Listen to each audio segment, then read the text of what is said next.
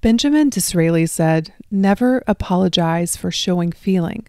When you do so, you apologize for the truth. In this episode, I'm posing the question What are you apologizing for? So let's dive in. Welcome to the School of Self Image, where personal development meets style. Here's your hostess, Master Life Coach, Tonya Leigh. Hello, my gorgeous friends. Welcome to another episode.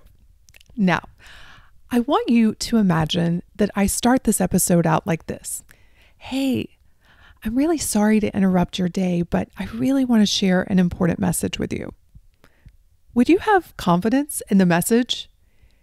And would I have confidence in my own message when I start out with an apology? And yet, so many people, especially women, tend to over apologize for themselves. Now, you may be thinking, this doesn't apply to me, but chances are it does. Because over apologizing can become so ingrained in our daily lives that we don't even realize that we're doing it. Think about it. Have you ever apologized for asking for your meal to be fixed when it comes out wrong? Let's say you order your steak medium rare and it comes out well done. And the waiter comes over the table and you say, Hey, I'm really sorry, but I asked for the steak to be medium rare and it's clearly not. Or have you ever apologized for being sick? Hey, I'm sorry, but I have the flu and I won't be able to make our date as if you somehow willed the flu upon yourself. Or tell me if this one sounds familiar, because I feel like a lot of us do this one. What about apologizing for saying no to something you just don't want to do, even though you have every right to do so? So, for example, someone asks you to lunch and you don't want to go. And you start out with an apology, you know, I'm really sorry. And then you have all of these excuses versus just saying, no, thank you. What about your period? I used to apologize for my period. I'm so sorry, but I'm on my period. I'm just not feeling well. I'm feeling gloomy. And along the same lines, apologizing for having emotions. It's so interesting when I coach clients and they'll come on a call and they'll start crying and they'll immediately start apologizing. Like, I'm so sorry, I'm crying. I'm like, why are you apologizing for feeling your human emotions? We should never apologize for having emotions, and yet so many of us do. What about apologizing for taking time to take care of yourself? I'm so sorry I have to cancel, but I need some time for myself. Or what about apologizing for asking for clarity when you don't understand something? I'm sorry, but I don't quite understand. Could you explain that again? If you pay attention, you may find that you are over apologizing on a daily basis. I know I have, so you're not alone. But today we're going to explore why women tend to over apologize, the impact that it can have on us, and most importantly, how we can break free from this sorry syndrome. That's what it feels like. It's the syndrome of just constantly saying you're sorry when you shouldn't be apologizing. So, why do we do it? Well, the truth is, there are several factors at play here. If you think about it, for a lot of us as young girls, we are taught to be polite, to be agreeable, and to prioritize the feelings of everybody else over our own. And this can lead to people pleasing, where you're constantly seeking approval and validation. And society also plays a role. We're bombarded with messages about the ideal woman who's kind and gentle and avoids conflict. And this can create this subconscious pressure to over apologize, even when it's not necessary, to avoid being seen as bossy or demanding or bitchy or difficult. But what are the consequences of this constant apologizing? Well, Unfortunately, it can have a huge, huge impact on our self esteem and our confidence, and furthermore, our self image. Because when we constantly apologize for things beyond our control, it can send a message to ourselves and to others that we somehow see ourselves as responsible for everything that goes wrong, even if it's not true. And that can lead to feeling inadequate, to having a lot of self doubt, to having difficulty asserting ourselves in various situations. Because when you think about the definition of an apology, it means to be regretful of an offense or a failure. And I want you all to really think about what are you apologizing for? Have you had an offense? Have you had a failure? If someone runs into you, and this used to happen to me a lot, someone would literally run into me and I would say, I'm sorry. But think about the subconscious messaging of that. When you apologize for things that aren't your fault, you're basically saying, I'm sorry for having needs. I'm sorry for taking up space. I'm sorry for needing support. You're basically apologizing for being a human being, and that will chip away at your self esteem. And the, the problem with that is when it comes to your self image, you start to see yourself as unworthy. You start to see yourself as inadequate. You start to see yourself as small because you are perpetually using the word sorry to keep yourself small. Imagine this you're at work and your colleague bumps into you and he spills coffee all over himself. What's your first instinct? To apologize profusely? I'm so sorry. Oh my gosh, are you okay? Is there anything I can do for you? While offering help and expressing concern is kind, the constant barrage of apologies can send this subtle message both to yourself and to other people. It can imply that you feel responsible for everything that happens around you, even when it's completely out of your control. Here's another scenario you're at a social gathering and you have an idea to share during a conversation. But before you even get a chance to speak, you preface it with an apology. I'm so sorry to interrupt you, but I just overheard that you love art and I heard about this great exhibit that's coming into town. You didn't have an offense. That wasn't a failure. Why are you apologizing? And yet, over time, this habit, and it really is a habit, can chip away at your self esteem. It can make you feel like you're constantly walking on eggshells, afraid of making any mistake, no matter how small, and no matter it can be someone else's mistake that you're apologizing for. For example, asking for your food to be fixed, that wasn't your fault. You ordered what you ordered, they brought out the wrong thing, and yet you're apologizing for their mistake. And so, what happens is you begin to doubt yourself, your own judgment, your abilities, questioning whether you deserve success or happiness. But over apologizing is harmful.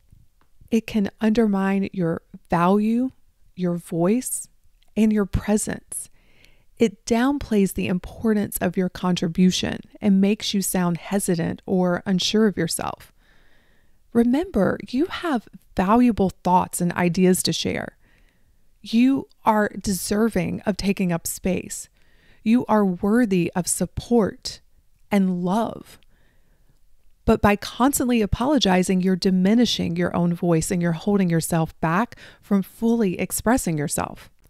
I know this because I used to apologize for almost everything. I would apologize for taking my time. So, for example, if I was in line and I was taking my time to order something and the line is growing behind me, I would turn around and apologize that I was asking for time. I've been known to apologize for my optimism because I realized that it made a lot of people uncomfortable. And sometimes apologies, it's the energy of what you're saying. It feels like an apology. So, for example, I might say things like, Yeah, I've just been working on myself a lot, and, you know, I really have come a long way. And, yeah, I am happy most of the time, but you know, back in the day, I really, really struggled. It's the energy of what I was saying. It was like, I'm so sorry that I'm so happy right now. Equally, I've apologized for bad days, right? I'm so sorry, but I'm just having a really bad day. I'm really cranky. I have apologized for people not doing their job. So, an example is I paid someone to do tile work for me years ago and clearly it was not done well. And I remember apologizing to him, like, I'm so sorry, but this isn't right and you're going to need to fix it. What was I apologizing for? Now, fast forward to present day, we had a meeting at the house that I'm building and the tile wasn't right in the bathroom. And I was just like, listen, we've got to fix this. I just left out the I'm sorry because it wasn't my fault. I am all for taking responsibility when it's my responsibility. But I was taking on the world's responsibility when I was over apologizing. No matter who was at fault, I just assumed I was. It was me. Let me fix it. Let me apologize. Let me make everyone around me comfortable at my own demise. And so I record this episode because I have a very clear understanding of the tendency, the habit to want to over apologize and how detrimental it is. It's just chipping away at our self image. Again, it's making us see ourselves as small. And you're here to do extraordinary things. You cannot play small and have an extraordinary life. The two just don't go hand in hand. So, what do you do? How do you break this habit? I'm going to share with you some of my techniques that have worked for me to break this habit because now I rarely apologize except when it's warranted. Because sometimes you need to apologize. It's important that you apologize when you are at fault, whether you've made a mistake that you want to take responsibility for Maybe you have unintentionally hurt someone's feelings, or you show up late and you really inconvenience someone. In those situations, I am all for apologizing. But I would say 90% of what we apologize for, especially if you're an over apologizer, it's not warranted. So, the first thing is you need to shine a light on this habit you need to become mindful of your apologies. Notice when I'm sorry pops out of your mouth, especially in situations when you haven't done anything wrong. Is it when you feel like you're in someone's way? Or perhaps it's when you want to contribute to a meeting? Or maybe you feel like you're inconveniencing someone while they're doing their job? And even if you have a really close friend you can enlist them to support you and gently pointing out when you are over apologizing and just begin to track it, just begin to notice it. Then you want to dig deeper. Why the constant apologies? Really look at what this is all about. Is it just a filler word that you use?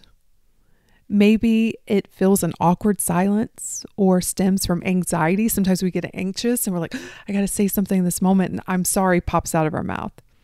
Maybe it's a lack of confidence in certain situations. But understanding your why behind the apologies will help you to identify the situations where you could use some alternative phrases instead. Or it may help you uncover a belief that you need to work on so that you can show up confidently in situations. And then this one has been huge for me. I don't know who suggested this to me years ago, but I'm forever grateful that they did. I remember someone suggesting that you swap sorry for thank you. So, whenever you're tempted to say, I'm sorry, try replacing it with thank you. So, let me give you some examples. Instead of saying, sorry for being late, you can try, thank you for your patience. Thank you for your understanding. Sorry for the late notice can become, I appreciate you making time despite the short notice. Instead of, I'm so sorry for complaining, you can say, Thank you for listening to my concerns. Instead of saying, I'm sorry for that mistake, you can say, Thank you for catching that. I really appreciate it. And then you can expand your sorry vocabulary to other words. So maybe it's excuse me or pardon me or oops, like, oops, I didn't see you standing there. Another really helpful tactic is to focus on solutions, not just apologies, because everyone makes mistakes and genuine apologies are essential when warranted. However, for minor mishaps, don't go to I'm sorry. Instead, shift your focus to solutions. So, for example, instead of saying, I'm sorry that happened, you can say, I understand your frustration. Here's what I can do to fix the problem. Instead of saying, I'm so sorry I missed that, you can say, Thank you for bringing this to my attention. I'm going to get right on it. Instead of saying, let's say, I'm so sorry I dropped the ball on that, you can say, You know what? This didn't go as planned, and I'm committed to making it right.